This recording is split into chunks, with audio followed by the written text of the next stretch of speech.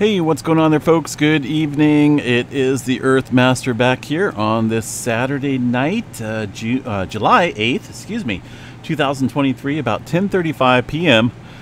Here in the state of California, latest earthquake activity does show some movement here into Northern California with a 3.1 around the Clear Lake volcanic field. Got a, a pretty good swarm of earthquake activity ramping up here in this region now. A lot of people are unfamiliar with what goes on out here around the Cobb Mountain region. Obviously, uh, Mount Konocti up north here, a volcano of the past, but still very active below the surface. Now, um, humans have found a way to uh, create energy by injecting raw sewage below into the heated surface or heated uh, areas below to create some type of dry steam uh, that in returns uh, creates energy and powers homes across the Bay Area. There is numerous hydrothermal operations throughout the Cobb Mountain area. It's a very interesting uh, uh, setup. I went down there a year or so ago to investigate what was going on with all this earthquake activity and everything sealed off, secured all over the place. Uh, but either way, we got a separate swarm here, individual swarm around. Uh, looks like maybe there's a facility right here. Definitely nearby, there's one over here, just literally feet to the east. Uh, a pretty good earthquake swarm occurring. With uh, looks like so far the largest is going to be a 3.5, very shallow earthquake here. Uh, earthquake activity just about a kilometer or so below the surface hopefully these folks know what they're doing, right? Poking holes into the uh, into the Earth's surface. There, it could be relatively thin. Wouldn't want to see a new volcano pop up here somehow um, with that underground activity. Uh, either way, pretty good swarm of activity around the geysers, but there are no geysers out here. That's just a name. There's literally no geysers here in this area of Northern California, but there's plenty plenty of hydrothermal operations out here in full swing all over the place. All right, moving on. Let's go back here to the terrain, see what we got uh, across the region. That's just very shallow earthquake activity. I'm not a big fan of uh, poking holes in the earth like that. Uh, up here into the Cascadia subduction zone, a little bit of activity, mostly some uh, twos and ones. Last one shows a 1.3 here into the southern end of the Cascadia megathrust area. Uh, let's go ahead and check out the um, tremor map here tonight and see what we have. 35 epicenters of tremor, mostly around the Vancouver Island ranges, but we do have a little bit down here in southern Oregon, uh, still contributing to some of the activity we're seeing at the surface levels. Uh, we did see some movement down here, or up here, I should say, around the Strait of Juan de Fuca earlier uh, last night. It should be dropping off the globe, or at least off the map here pretty soon at 2.3 uh, around the tremor level area at about 46 kilometers deep. All right, let's go ahead and check out the rest of California here. Uh, Bay Area relatively quiet. Um, further down south, looks about the same as well. 2.5 map and above shows not a whole lot here in Southern California. Of course, the activity up north there, very shallow movement taking place there below the surface. Uh, rest of the country, goodness. Yellowstone not showing anything, so let's see what's going on here at the uh, Yellowstone super volcano far as seismic activity goes. Uh, I'm not really seeing too much earthquake activity whatsoever. Of course, they did have some thunderstorms rolling through earlier in the afternoon. Uh, that looks like that's what was taking place there on that graph. Uh, aside from that, uh, not a whole lot going on currently there at Yellowstone National Park. Uh, Oklahoma still seeing some movement out here west of El Reno, southwest of El Reno, actually. Um, I was just out there last month up in El Reno area, just kind of touring around. Um, looks like that is outside the El Reno airport region. Now, there is some, I did see some pumping operations while I was out there. Hard to say though, looking at this map, these do look like they uh, venture off into some type of uh, uh, pumping operations here. At least one, uh, maybe another one here. You can see the oil tank. If you look very closely. Uh, so we got some earthquake activity occurring out there in Oklahoma uh, across those areas of oil fields. just southwest of El Reno.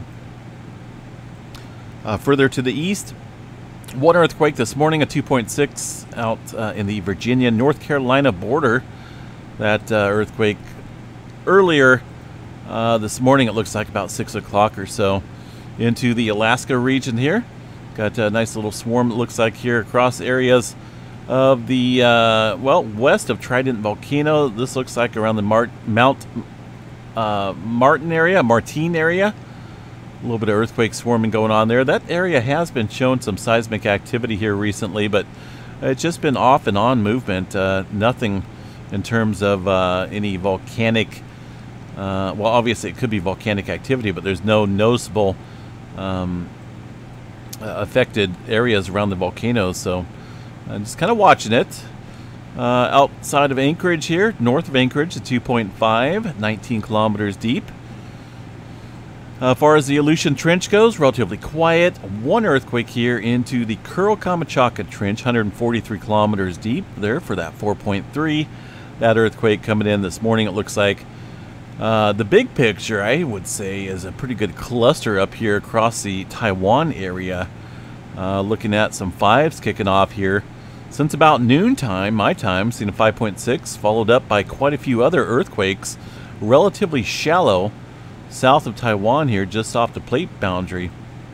Uh, so continue to watch that, maybe for some potential larger scale movement, definitely showing some heightened activity across this area. The um, EMSC model here, uh, by the way, EMSC is added back onto the globe. I appreciate the uh, developer there uh, getting a hold of me and letting me know what to do to get the EMSC data back on here. So I appreciate it. Uh, but a little bit of activity stirring up here, definitely across the Taiwan area. Pretty large cluster uh, all across the Indonesia area with a uh, pretty good swarm going on here off the Sumatra coast as well. Uh, definitely a noticeable uptick here in the region as far as seismic activity goes. Quite a few fours kicking off there. Uh, over here around the Solomon Islands, did see a 5.5. Uh, earlier this evening, it looks like about 35 kilometers deep. Over here across the uh, Kermadec Trench, one earthquake earlier this morning, it looks like, a 4.6. I don't think New Zealand's seen too much activity out here.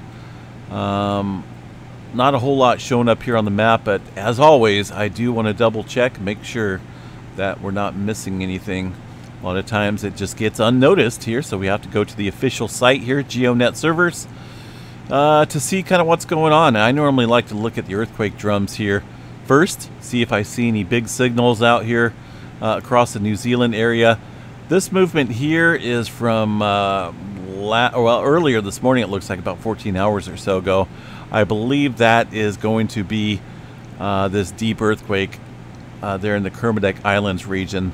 That was at 4.6, about 9 o'clock my time. That would be um, the appropriate time there, matching up with the GeoNet servers. Really deep earthquake. Uh, but far as local seismic activity here goes across New Zealand, that is the quiet spot for the most part. Uh, not a whole lot here in the last 12 hours. Definitely watch that zone though. Right now, things very quiet across this area. That will always be subject to change uh, with that uh, general northwestward plate movement here across the region, that momentum that's taken place. But uh, goodness, that's a lot of earthquake activity here across the Indonesia Islands area. Uh, one earthquake here around the Volcano Islands, Japan region. This is uh, uh, around the Izu Trench, just south of here, 4.9, 32 kilometers deep.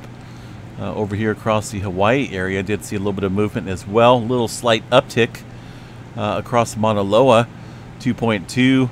Uh, we did have a 3.8 stirring up down here into the Pahala area, uh, but definitely a little bit of movement up here across the Mauna Loa area. Let's go ahead and see what the hazard notification system has, if they've updated anything or not. Um, looks like the last update was on Kilauea a couple days ago, so uh, no major changes going on. Otherwise, this would definitely be updated. Doesn't look like any of the earthquake activity has been affected uh, or has affected the volcanoes currently. All right, uh, let's see what else we have here across the region. Some movement uh, showing up here across Greece. Mediterranean area. Latest quake. Look at this. It shows a 3.5 on the map. They're in Turkey. I don't know. I think the USGS just tends to throw one up there to see if I mention it. Mention it. Of course, I'm going to mention it. It's a little odd for them to show a, a three pointer up here on the map internationally. It's just a little weird. Uh, let's see what we got here for activity here on the EMSC side. There's that four, a little bit of movement there across Turkey, some twos and threes stirring up there. And of course, that 3.5 being mentioned there by the USGS. Iceland area, it looks like they're still having a swarm up here. Seen some threes and fours and some twos up here in the uh, volcano range here around the, uh, the Reykjanes Ridge area. This area is uh, showing quite a bit of volcanic activity. 4.4, the latest earthquake there uh, from earlier this morning. Atlantic Ocean, for the most part, pretty clear, quiet. South Sandwich Islands as well. Into the South America region, got one earthquake here from uh, earlier this evening, 164 kilometer deep, 4.4. Now the EMSC model here showing a little bit more, some twos and threes down here, which is very typical across that major plate boundary and subduction zone. See a little bit of activity over uh, across the Middle America Trench as well, a little bit further up north. Going to be, uh, looks like a 4.4 earlier this morning. 50 kilometers deep here into the Middle America Trench.